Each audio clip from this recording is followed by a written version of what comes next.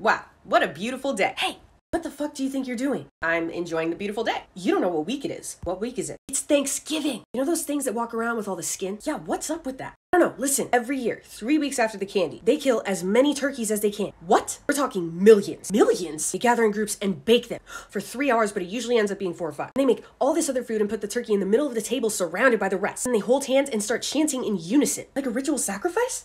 Yes! Why don't they sacrifice one of their own? Why are we involved? Know. But what about all the decorations they have of us on their houses? And the cute little clothes? I thought they liked us. It's a goddamn lie. That's barbaric. I didn't even tell you about the stuffing.